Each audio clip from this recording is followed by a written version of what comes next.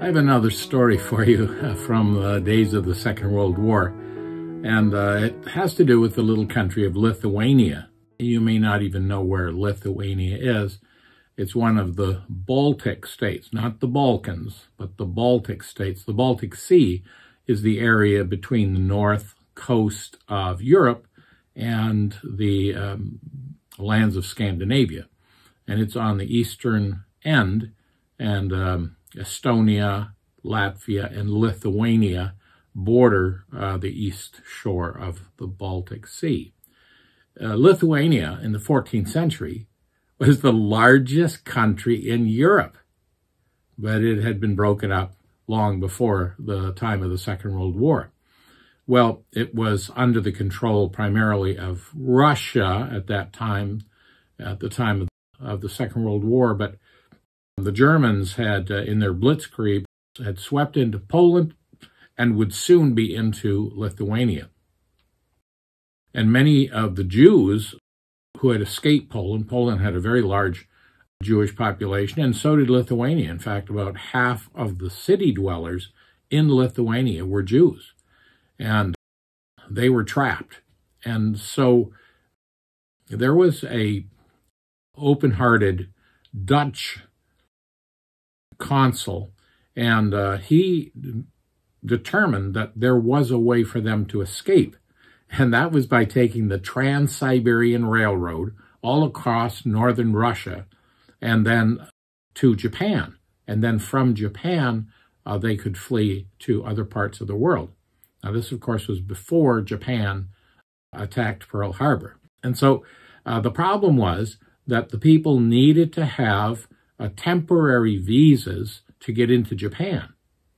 And uh, so at that point, there was a very unlikely hero. He was the Japanese consul general in Kaunas, uh, Lithuania. His name was Chiune Sugihara. And uh, he decided that he should help these Jews. And when they asked why he did, he quoted this samurai maxim, even a hunter cannot kill a bird which flies to him for refuge. He said some of these people actually got down and kissed his shoes, weeping, and he couldn't turn them away. And so he began writing as fast as he could these visas for Jews to enter into Japan and from there to other parts of the world. It made me think of this verse when the Lord Jesus entered Capernaum, and a centurion sent word, came to see him and said, My servant is lying at home paralyzed. And Jesus said, I'll come and heal him. And the centurion responded and said, Lord, I'm not worthy that you should come under my roof. You know, this is one of the themes throughout the New Testament. The man who was justified that Jesus spoke about going up to the temple and beat on his breast and said, I'm not worthy. God be merciful to me, the sinner.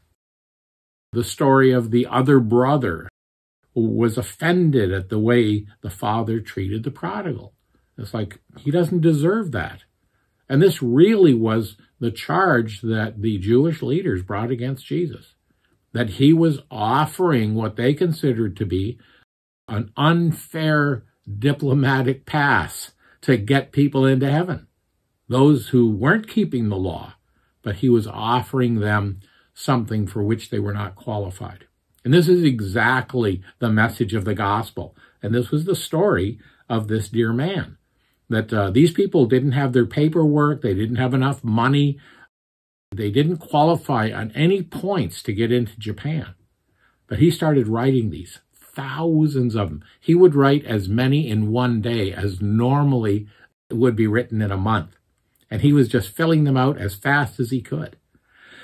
And eventually, um, he was told several times to stop doing it. He just ignored.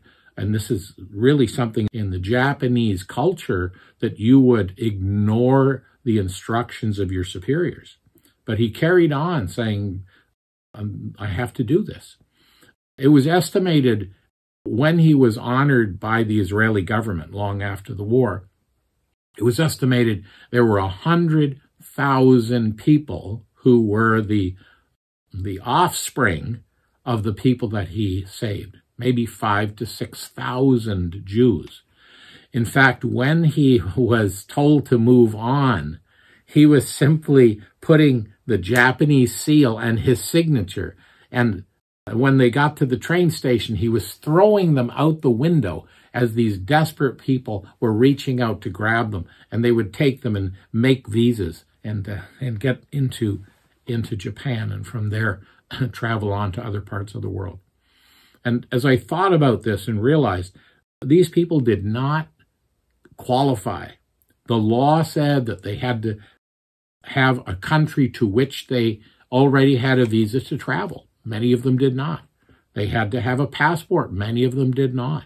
They had to have so much money in order to get there. Many of them did not.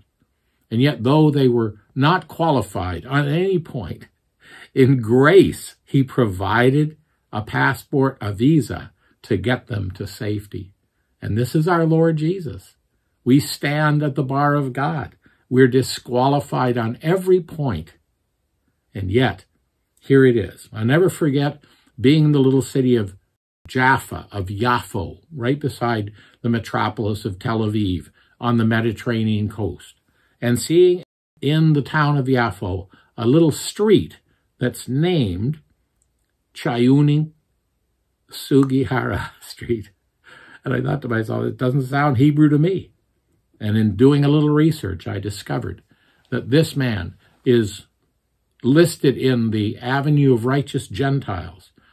There is a, a memorial to him at the Holocaust Memorial because he saved these thousands of Jewish people. And you know, this is the message of the gospel. None of us deserves it. We're all disqualified. And yet the grace of God reaches out to us and says, well, I'm going to give you a passport to heaven anyway. You don't deserve it. You can't afford it. And yet, by God's grace, we who were without hope and without God in the world were the very ones to whom he offered this wonderful plan of salvation. Thanks be to God for his indescribable gift.